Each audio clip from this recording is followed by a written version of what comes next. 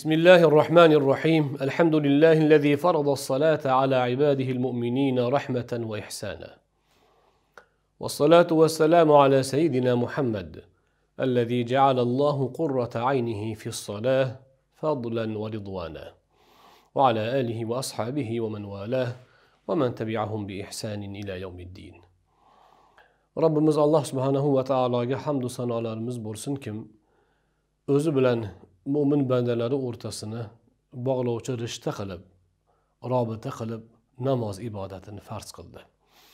Rasulimiz muhammad mustafoga durud va salovatlarimiz bo'lsinkim u zot namozni ta'lim berib o'rgatish bilan birga namoz mening ko'zim quvonchi ya'ni ko'zimning quvonchi namozda bo'ldi deya marhamat etdilar.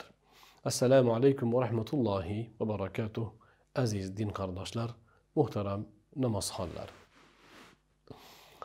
valayali nashr o'n kechaga qasam nomli ta'lim dasturimizning uchinchi bosqichi namoz zikrlariga bag'ishlangan edi.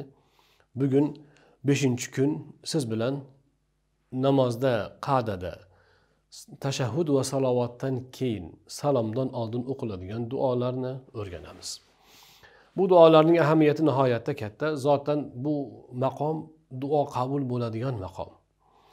Alloh subhanahu va taologa bandalikni bajo keltirib ibodatni ado qilib eng ulug' maqomda qiblaga yuzlangan holatda namozning ichida ya'ni mo'minning meroji merojda zikr tilovatu salovatlardan keyin duo. Bu nihoyatda yuksak maqom va ijobatga yaqin bir maqom hisoblanadi. Bu e, o'rinda istalgancha duo qilish mumkin aslida. Faqat sharti insondan so'raladigan narsa bo'lmasligi kerak allohdan so'raydigan narsalarni so'rash kerak va arab tilida so'rash kerak duo qilish kerak. Shuning uchun e, bu borada endi ko'pchiligimizda malaka yetishmay qolishi bu sir emas.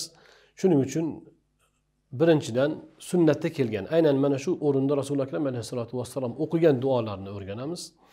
Keyin esa qur'oni karimdan ikkita duoni aynan mana shu o'ringa munosib.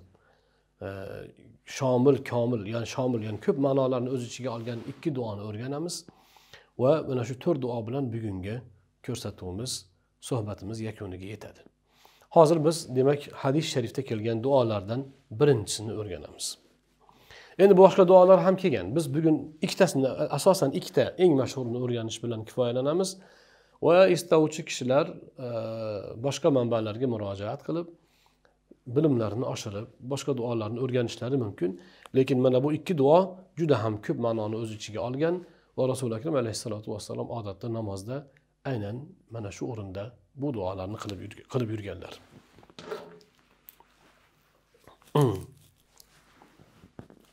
بسم الله الرحمن الرحيم. اللهم إني أعوذ بك من عذاب القبر. قيت الأمس. اللهم إني أعوذ بك من عذاب القبر. وأعوذ بك.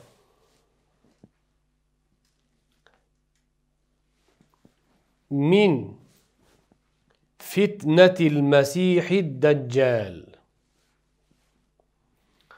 وأعوذ بك من فتنة المسيح الدجال. وأعوذ بك من فتنة المحيا. والممات. وأعوذ بك من فتنة المحيا والممات. اللهم إني أعوذ بك من المأثم والمغرم. Allahümme inni a'udhu bike minel me'semi vel mağram. Duanın okuluşunu e, Kiril Elif Bas'la hem tekrarlaşımız mümkün. E, manası ise quyidagi. Allohim menga qabr azobidan panoh ber. Menga Masihi Dajjolning yomonligidan panoh ber. Menga hayot va o'lim fitnasidan panoh ber. Allohim menga gunohlik, gunohkorlik va qarzdorlikdan ber degan ma'nolarni anglatadi. Juda ham e, ulug' ma'nolar. Oysha roziyallohu anhodan rivoyat qilinadi. U kishi aytadilarki rasuli akram alayhissalotu vassalom namozda ushbu duolarni qilardilar. Allohumma inni audu bika min azabil qabr va audu bika min fitnatil masihid dajjal va audu bika min fitnatil mahya va fitnatil mamat. اللهم إني أعوذ بك من المأثم والمغرم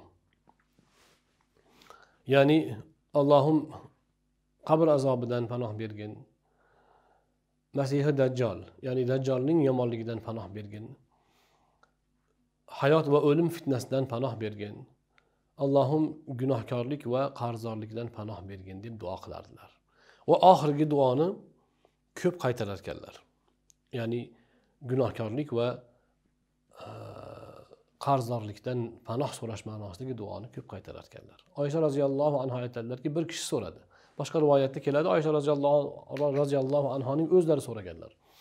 Ey allohning rasuli namuncha bu qarzdorlikdan ko'p panoh so'ramasangiz? Rasuli akram alayhissalotu vassalom javob berdilar. Chunki kishi qarzdor bo'lsa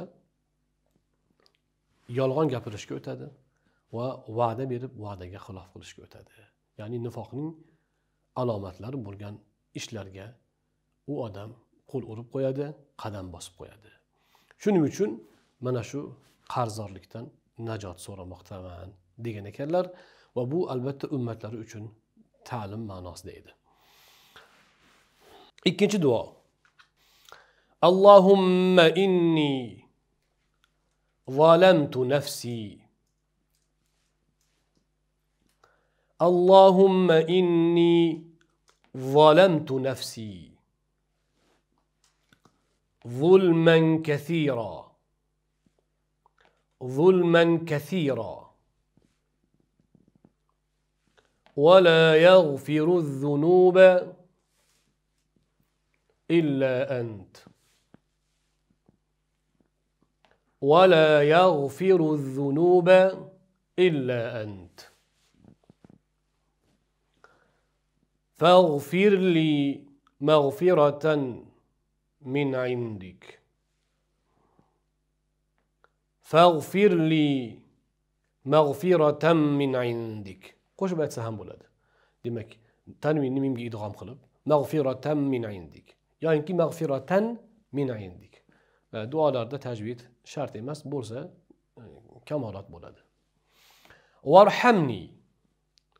İnneke entel gafurur rahim. Varhamni inneke entel gafurur rahim. Endi duanın manası. Allah'ım men özümge köp zulüm kıldım. Yani insanın günah kılışı özüge özü zulüm aslında. Çünkü o günahdan e, birinci bulup özü zarar göredi. Dünyada hem ahirette hem.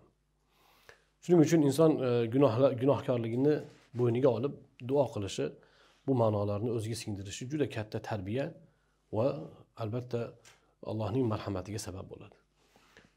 Robbim o'zimga ko'p zulm qildim gunohlarni esa sendan o'zga mag'firat qiluvchi yo'q. Faqat sengina mag'firat qilasan. O'z huzuringdan meni mag'firat ayla. Ya'ni meni mag'firat qilishga yarasha ishim yo'q. Lekin o'z huzuringdan o'z marhamating ila meni mag'firat ayla. Va menga rahm qilgin albatta sen mag'firatli va rahmli zotsan ya'ni mehribon zotsan degan ma'no. Demak bu duoda asosan gunohlarga tavba mag'firat so'rash va allohning rahmatini so'rash ma'nolari mujassam bo'lgan. Allohning mag'firati bo'lsa allohning rahmati bo'lsa o'zi dunyo oxirat ishlari hammasi o'zi o'nglanib ketadi. Shuning uchun bu duo demak mm, mana shu o'rinda qilinishi sunnat bo'lgan.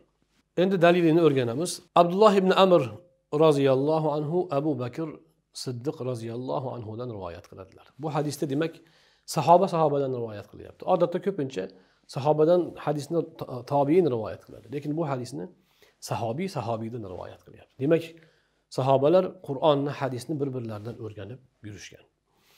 Abu bakr roziyallohu anhu aytibdilar. Men ey allohning rasuli menga namozimda qiladigan duo o'rgating dedim ya'ni rasuli akram alayhissalotu vassalomga u kishi murojaat qilib menga namozda o'qiydigan duoni o'rgating debdilar shunda rasuli akram alayhissalotu vassalom yuqoridagi duoni o'rgatgan ekanlar allohumma inni zalamtu nafsi zulman kathiran va la yaghfiru zunuba illa ant فاغفر لي مغفرة من عندك وارحمني إنك أنت الغفور الرحيم Üçüncü dua. Bu üçüncü, dördüncü dualar Kur'an-ı Kerim'den alıngan. Birinci dua İbrahim Aleyhisselam'ın duaları. Kur'an-ı Kerim'de keltirildi mi o demek ibret uchun, ta'lim uchun keltirilgan. Bismillah. Rabbighfirli. Rabbighfirli. Rabbighfirli. ولوالدي. وللمؤمنين يوم يقوم الحساب. رب اغفر لي ولوالدي. وللمؤمنين يوم يقوم الحساب. باش اعطي مرتا احشتك تقول لسيز يعطي لنا ديان. آه، دعاء. قصق دعاء. لكن ما ناس جدا هم آه، بيوك. ما ناس شكي رب منا وأطعنا منه va mo'minlarni hisob kitob kuni mag'firat qilgin. O'zimni mag'firat qilgin ota onamni mag'firat qilgin mo'minlarni mag'firat qilgin qiyomat kunida.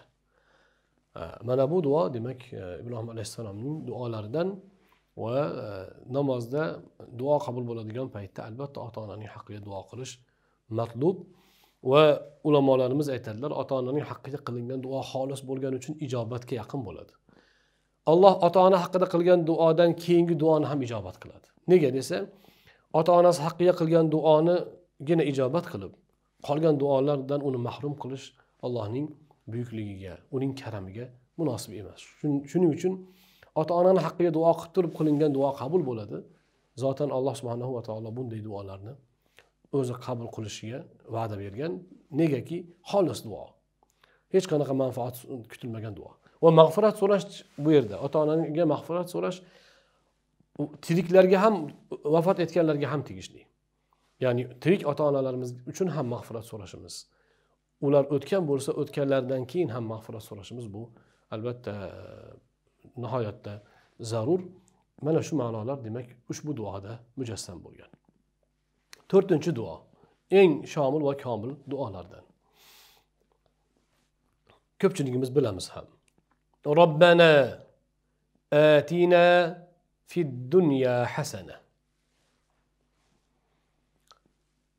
ربنا آتنا من أبو ألف تشوزل آتنا في الدنيا حسنة. حسنة. وفي الآخرة حسنة. وقنا عذاب النار. وفي الآخرة حسنة. vaqina azabannar robbimiz bizga dunyoda yaxshiliklar ber. Oxiratda ham yaxshiliklar ber. Va bizni do'zax azobidan qutqargin asragin degan ma'no. Anas ibn molik roziyallohu anhudan bir kishi duo so'radi. Haqqimga duo qiling dedi. Anas ibn molik roziyallohu anhu ushbu duoni qildilar. Robbana atina fid dunya hasana va fil oxirati hasana va qina azabannar haligi duo so'ragan odam ko'ngli to'lmagandek bo'lib taqsir sal tuzukroq duo qilsangiz deyatuvdi dedi. Shunda anas ibn molik roziyallohu anhu aytdilarki senga dunyoni yaxshiligini so'rasam oxiratning yaxshiligini so'rasam do'zaxdan panoh so'rasam panoh so'rasam yana nima kerak senga? Dunyoning hamma yaxshiligini olloh o'zi biladi beradi. Nasib qilganicha.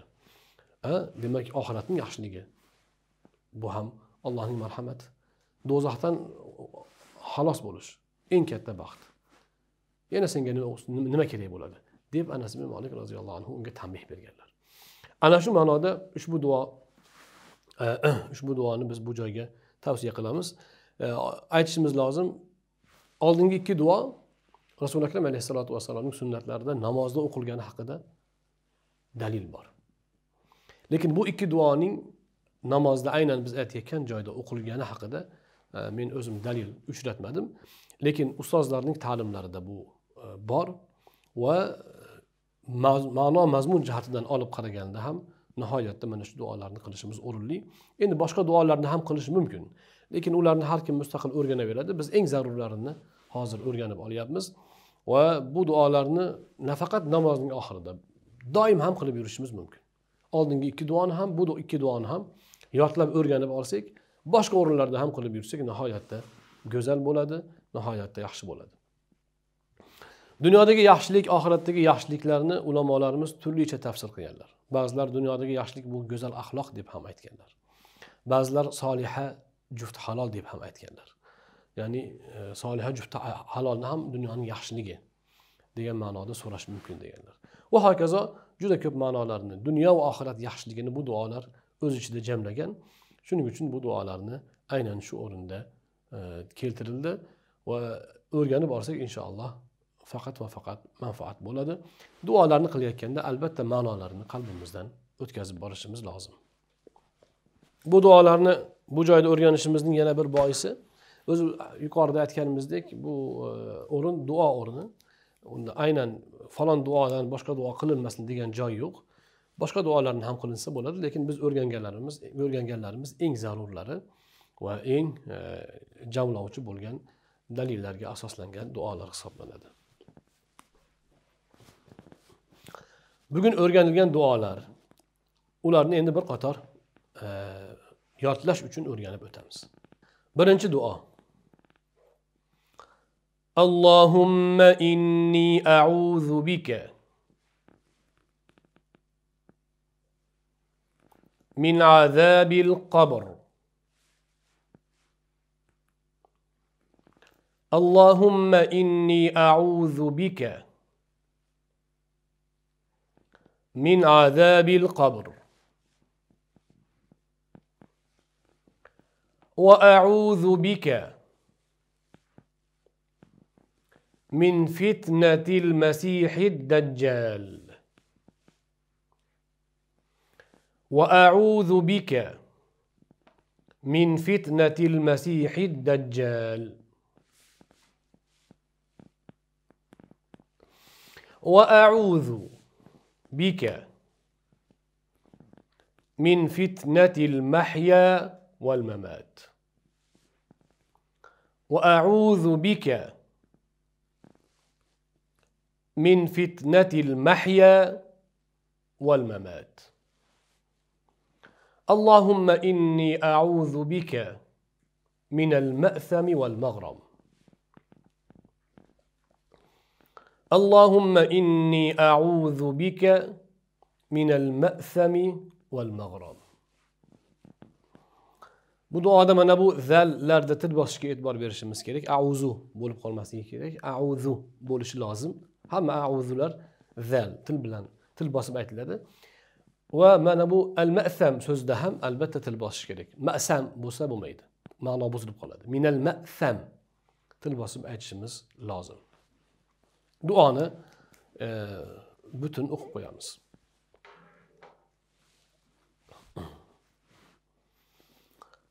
اللهم إني أعوذ بك من عذاب القبر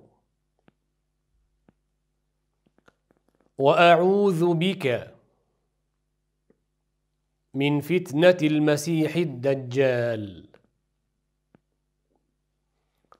وأعوذ بك من فتنة المحيا والممات. اللهم إني أعوذ بك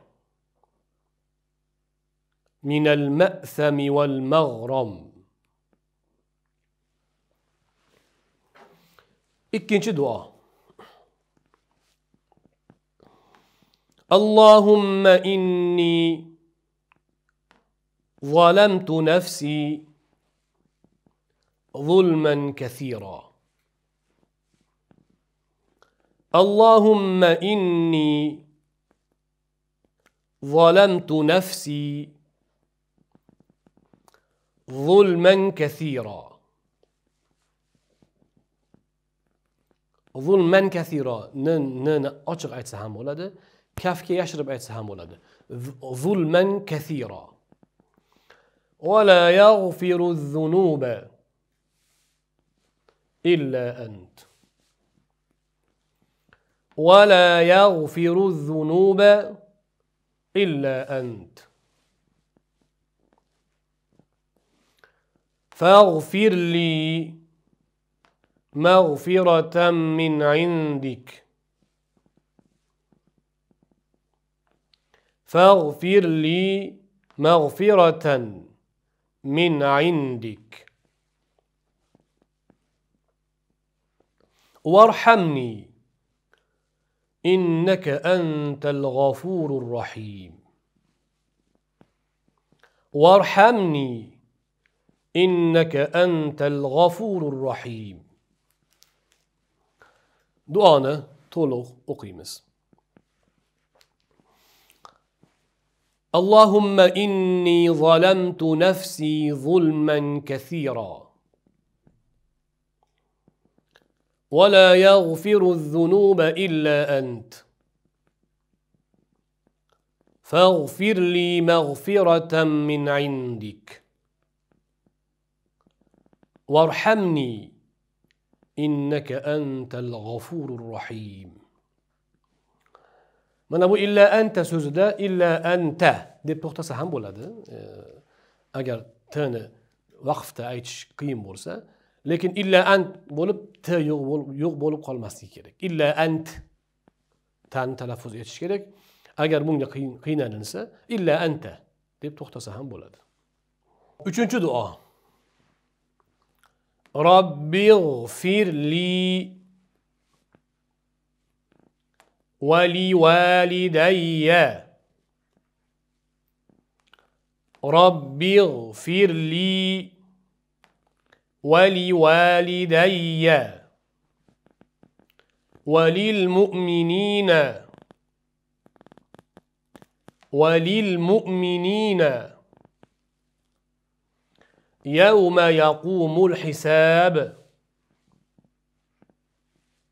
يوم يقوم الحساب.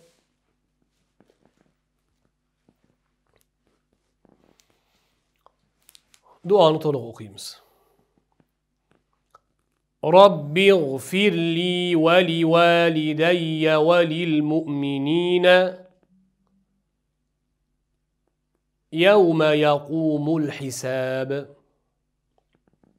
nafasda o'qisa ham bo'ladi رب اغفر لي ولوالدي وللمؤمنين يوم يقوم الحساب.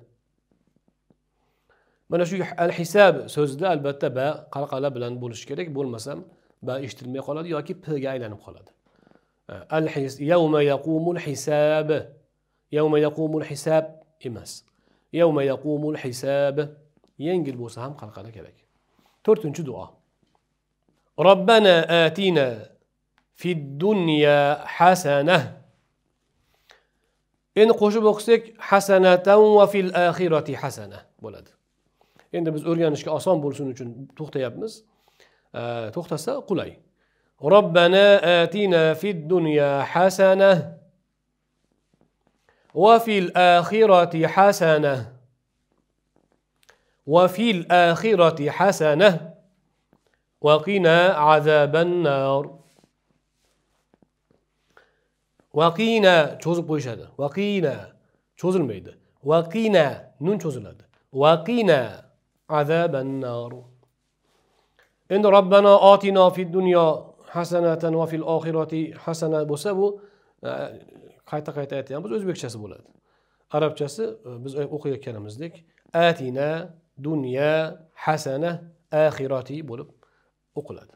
Vaqina azaban norda albatta til bosish kerak unutmaslik kerak mana bu hasanalarda hasana deb yumshoq ha aytmaslik kerak mana bu mana masalan hasana degandagi ha borku ana o'shanaqa ha. Ya'ni tovush paychalaridan chiqadigan hadan aytmaslik kerak balki undan yuqoridan halqum o'rtasidan chiqadigan ha. Hasana hasana mana shunday aytilishi lozim duoni to'liq o'qib qo'yamiz ربنا آتنا في الدنيا حسنة وفي الآخرة حسنة